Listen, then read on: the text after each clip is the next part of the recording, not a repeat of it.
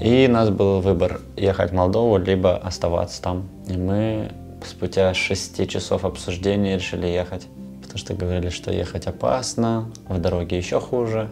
Но и оставаться тоже было не вариант, потому что ну, мы жили на 16 этаже и не хотели оставаться. Я был против.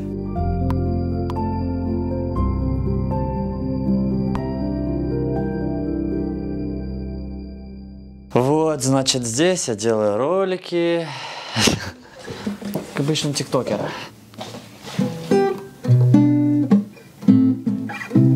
Это все легко придумывать. Техническая часть легкая. Самая сложная часть это понять, что ты хочешь донести, что ты хочешь передать, кроме того, что там злость и так далее. Какой месседж ты хочешь передать. Поэтому вот это самое сложное.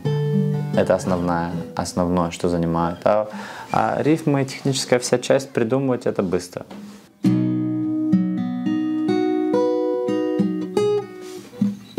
Насколько было сложно в начале продолжать писать шутки, продолжать выступать? Да, вначале было очень, очень сложно было, я этого не делал практически там пару недель. Потому что я не знал, что делать, просто собирался с мыслями. Мы с ребятами обсуждали, что наша профессия вообще не нужна, и надо браться за что-то физическое, то, что руками делают, я не знаю, там, повар, врач, строитель, что-то такое человеческое. Но потом я понял, что это бред, и это тоже наша профессия, и это надо продолжать даже в условиях войны. У всех это перв, в первый раз, и никто не знает, как себя вести в этом случае. И я тоже не знал. Вот особенно комики или артисты, которые, у которых достаточно развита рефлексия, чтобы они там грызут себя, ты себя винишь в том, что а можно ли это делать, а можно ли смеяться, когда веселиться, веселить, когда вот такое происходит, а можно ли, а можно. Но потом оказалось, что, конечно, можно, конечно, это нужно людям.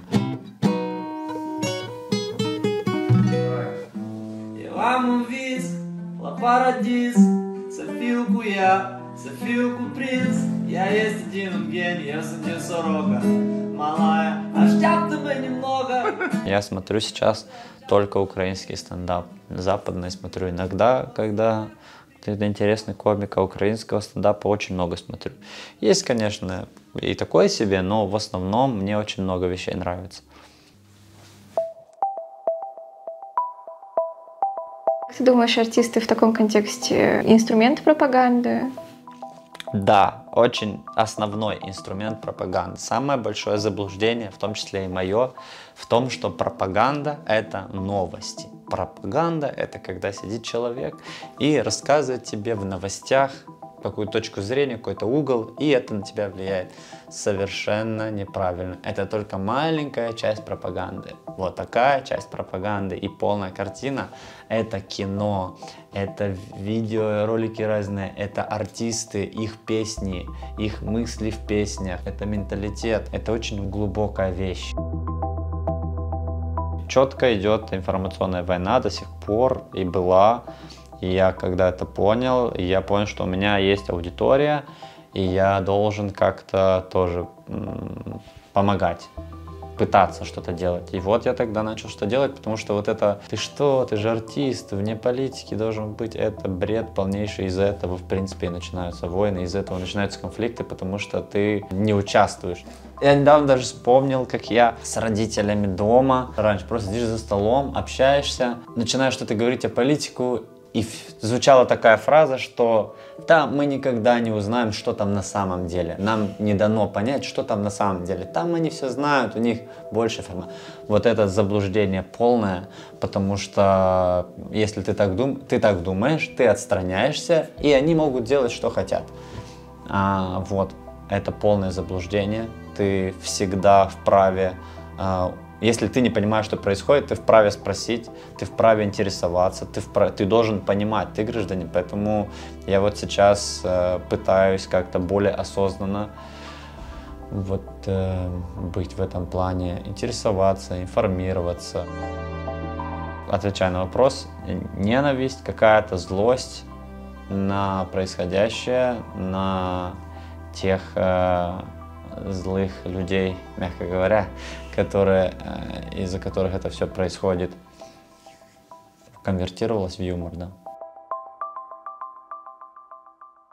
Сегодня будем тестить новое шоу. Будет на румынском языке. Будет вести его Александр Гицан. Это будет шоу, касаемо истории Молдовы.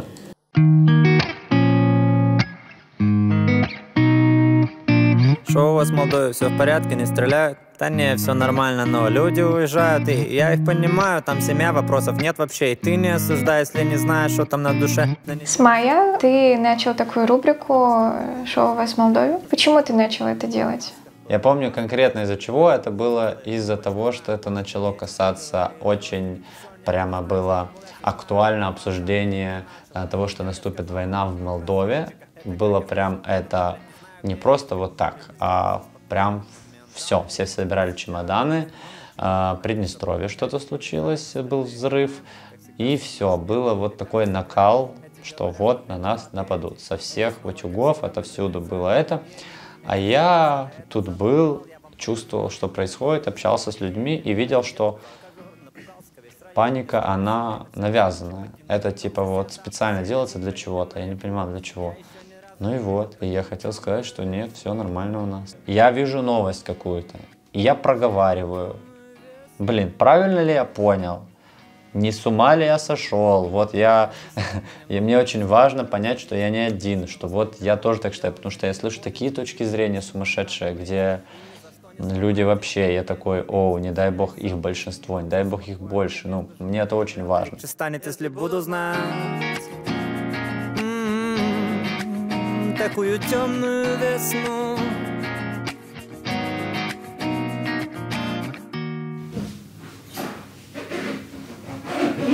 Ну, в селе есть там, да, родители, да, там есть пару вариантов. Односельчане, мне тоже знаю, что односельчане есть, которые много гадостей говорят и так далее.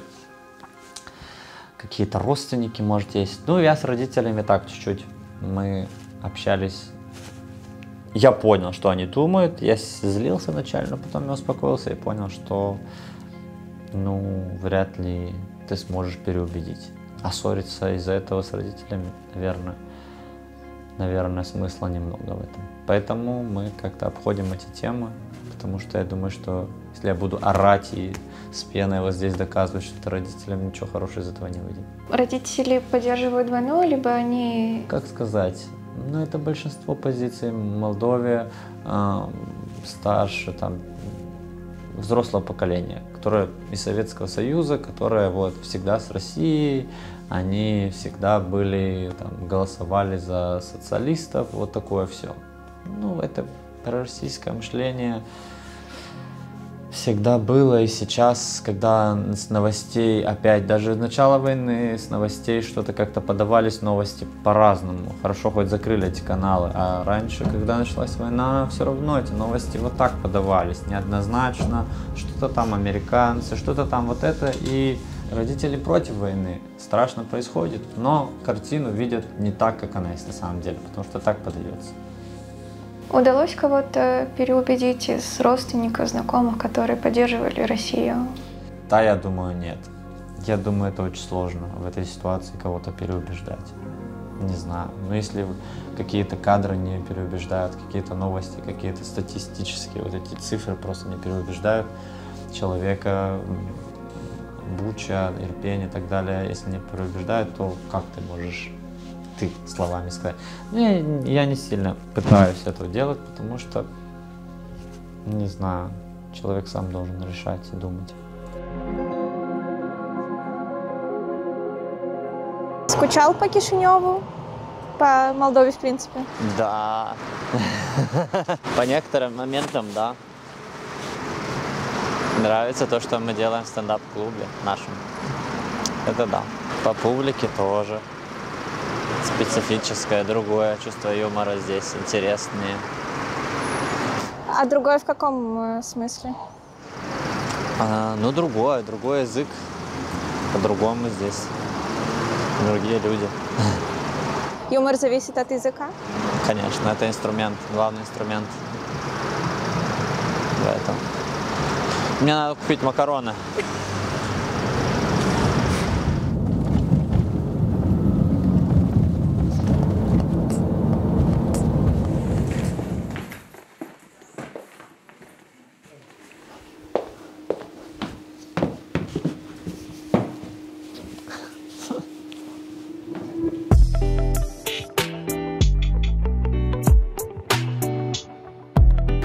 Попал на украинскую сцену? Был фестиваль, мы прошли, не прошли, попали в э, отбор э, в другую региональную лигу, а потом уже прошли дальше. А мы были там один раз на сочинском фестивале. А, Это было ужасно. Там куча денег был, надо было платить за взносы. Отношение к тебе очень плохое. Свысока на тебя смотрят, не ставят тебя вообще ни во что. Тебе надо, чтобы у тебя были большие спонсоры. А мы были просто из села. Нам хотелось просто играть, веселиться. Плохой опыт. Очень не хотелось там играть. Мы пошли в Одессу. Одесса близко. Одесса нас хорошо принимает. Э, Не знаю, ближе нам это все. Как ты познакомился с Зеленским? А, Он ведущий передачи, в которой я участвовал. Я был его фанатом, можно сказать. Открыв дверь своим ключом в кабинет, зашел Ренат Леонидович. Повесив свой пиджак на вешалку, он двинулся к креслу. Вы как знали, да? Как и если изменилось ли твое отношение, когда он э, стал президентом? Только в лучшую сторону. Я всегда поддерживал его, всегда следил за ним. Даже в моменты, когда люди критиковали его за что-то, я все равно понимал, что он такой. Я считаю, что люди не меняются. И если человек порядочный, хороший, в принципе, как человек, если он э, такой по жизни, то это всегда. Открытый микрофон – место, где комики проверяют шутки. Есть только одно правило – должно быть смешно вам. Если вам не смешно, первые две минуты комик, мы включаем вот такой звук комику. Да. А, И это означает, что он должен уходить, что немножко скучно, и он должен уходить, э, готовиться лучше, плакать, я не знаю. Сколько российский юмор повлиял на наш молдавский юмор? Все было на русском, передачи тоже, юмор оттуда очень повлиял, сильно. А украинский? Меньше украинский, поскольку и в Украине то же самое было. Тоже было куча шоу русских, куча фильмов русских. Наш контент не считался чем-то крутым. Их контент только брали, их контент смотрели. К сожалению, так было. Ладно, а, новые шутки, они будут сегодня проверять. И посмотрим. Это же интересно смотреть, как на сцене человек мучается, чтобы принести вам смех. И вы такие, а, не смешно! Готовься, блин! Билет, блядь, я купил! Как ты относишься вообще к шуткам на русской сцене по поводу всех остальных э, стран СНГ? Я против э, вот этих всех штук, когда раздаются стереотипы, и люди не знают на самом деле, как, что там происходит внутри. Мне не нравятся шутки, где выставляют молдаван какими-то колхозными. Хочется развивать, показать, что есть прикольные молдаване. Вот, поэтому мы и занимаемся сейчас стендапом, потому что тут приходишь, рассказываешь свои мысли, р- рефлексия какая-то про себя, про Молдову, про страну. Ну, в Лиге Смеха это самоирония. Сейчас это не особо уже прикольно. Это вот то, против чего я, мы тогда делали, получается. Bună salut! Salut! Deci ești român. Salut, salut, salut! Uh, Mă numesc Ivan, sunt din Moldova, uh, din satul Stoianovca, de aceea băieții, țineți fetele mai aproape de voi și mai departe de scenă. Eu pur și simplu scuip când vorbesc. Что больше всего на тебя повлияло как на комика? Мгм. А Вначале был КВН, был э, Comedy Club и все дела, вот эти. Ну и фильмы какие-то комедийные, американские, тоже очень сильно вдохновляли на это. Потом уже я познакомился с стендапом западным, и уже мне очень нравилось, и уже больше на него ориентировался.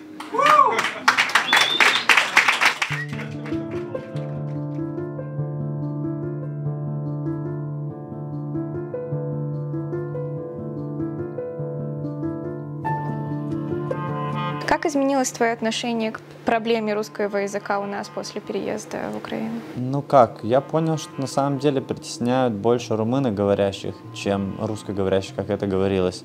Потому что румыноговорящие всегда считались, ну, они уже много раз это говорилось, но это считалось какой-то язык такой царан, откуда-то там из села приехал.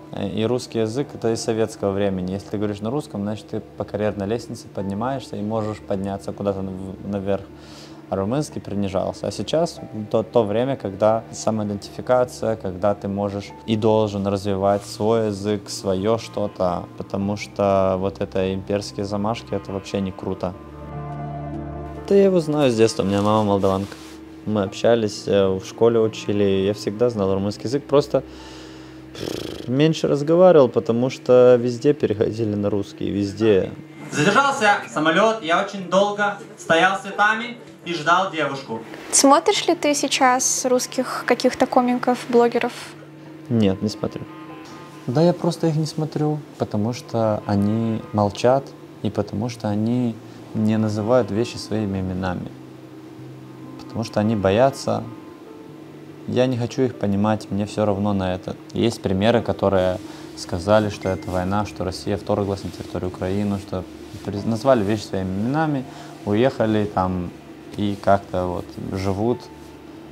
Есть те, которые сидят я не могу представить себе, что можно вот спокойно также смотреть на их шутки, как они шутят про жену, про что-то еще, спокойно в то время, когда происходит война. Юмор это всегда про что-то актуальное, типа вот сейчас происходит война, вот то, что интересует, то, что в воздухе витает.